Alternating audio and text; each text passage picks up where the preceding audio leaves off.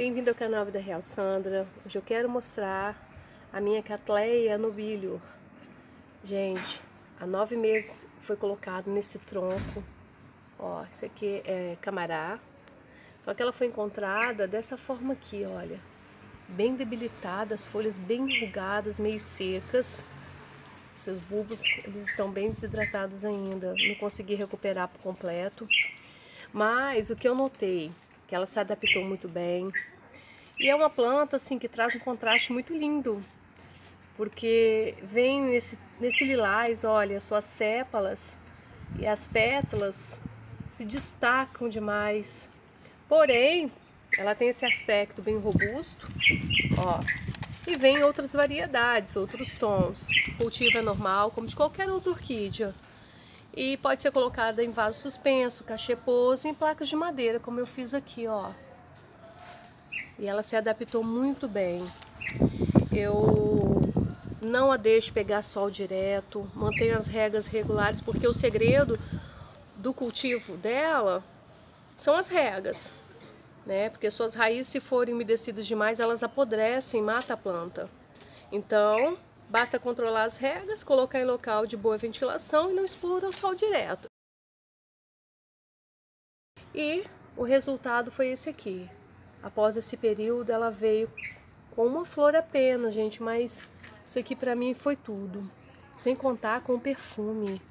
Que perfume delicioso que ela exala. Quem tem sabe do que eu estou falando.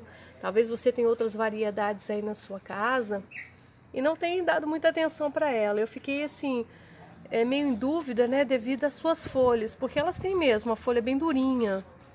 Porém, essa aqui, olha, ainda tem aquele aspecto de desidratada, não nasceram novos bulbos, mas as suas raízes elas se fixaram bem e eu acredito que ainda virão novas mudas. Aqui embaixo eu pude notar, ó, que a raiz ela teve um bom desenvolvimento.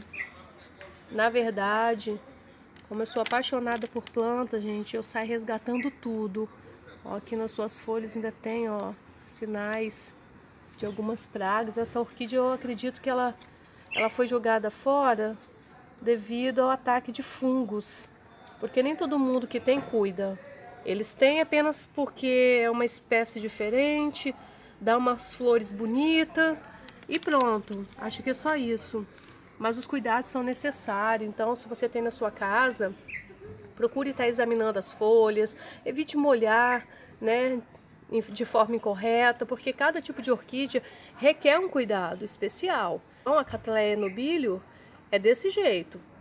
Ela gosta de um clima mais seco, ela gosta de estar um pouco mais seca. Então não adianta você colocar ela no vaso e estar tá encharcando.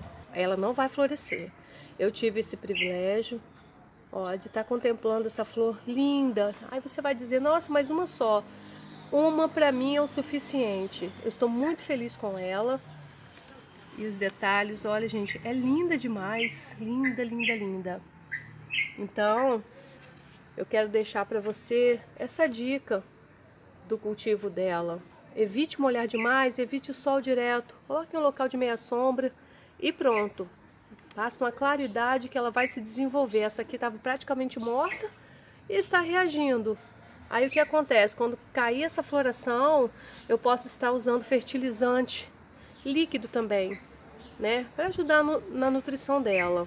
E se você também tem dúvidas sobre cultivos, não só de orquídea, mas de plantas em geral, na descrição desse vídeo eu vou estar deixando e-books digitais que falam sobre jardinagem, rosa do deserto, ervas medicinais, te dão dicas maravilhosas para você ter sucesso no seu cultivo. Basta clicar no link e adquirir. E eu tenho certeza que você não irá se arrepender. A você meu grande abraço, deixa seu like, compartilhe, inscreva-se no canal, envie sua sugestão de vídeo, seu comentário, que eu vou ter maior alegria de estar citando você aqui no canal. Então está aqui a minha Catleia nobilio reagindo ao replantio.